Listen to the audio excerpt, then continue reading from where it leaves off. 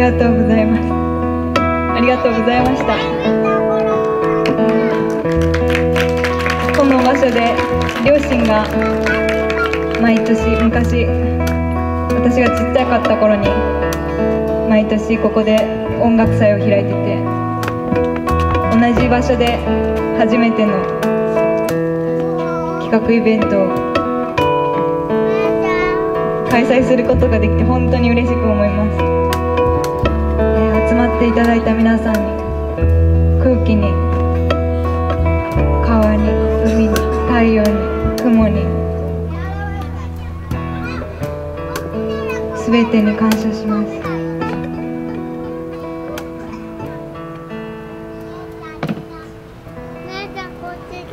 じゃあえっと震災前に作っていた曲です「えー嘘という曲なんですけど。もうこれ以上悪い世界には もう行かないって確信してるので。21世紀の子供たちが本当に大人になっても笑って暮らす暮らせる世界でありますように、えー嘘です。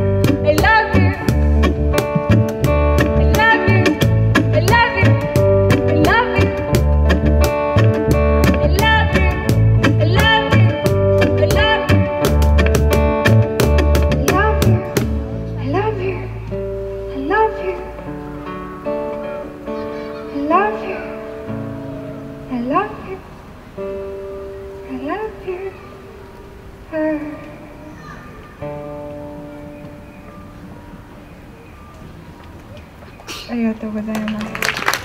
レイドバックリゾの皆さんです。